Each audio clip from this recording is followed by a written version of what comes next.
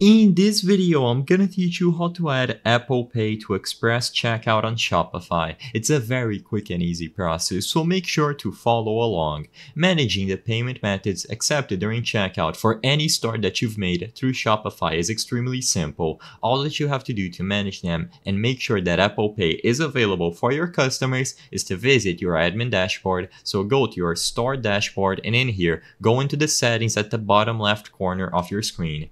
Inside of the settings, switch over to the Payments tab with this menu at the left side. Inside of Payments, in order for you to add Apple Pay as an option in Express Checkout, you need to enroll in Shopify Payments. This is a process that you can do through this page. So if you haven't activated Shopify Payments already, tap the option at the bottom and you will have to confirm some details about your business.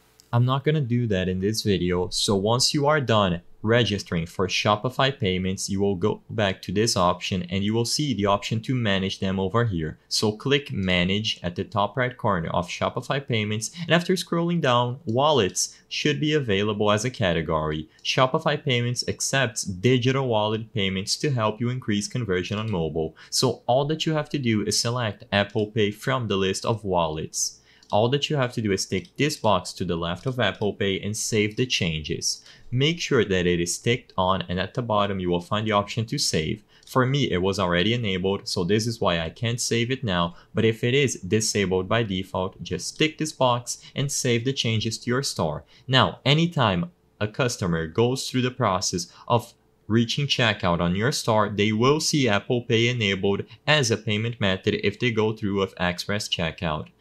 Now, Besides this option, there is no way to enable Apple Pay. So if you don't see Apple Pay under the wallets category or you don't see the wallets category altogether, it could be because of a bunch of reasons. Maybe a regional difference where Apple Pay is not available as a payment method or you don't have your account properly verified. I recommend that you talk to the Shopify customer support to figure out why you don't see Apple Pay, but usually it is going to be available under the wallets category as you can clearly see in this video. I hope I was able to help you on how to add Apple Pay to Express Checkout on Shopify. If this video helped you, please be sure to leave a like and subscribe for more quick and easy tips. Thank you for watching.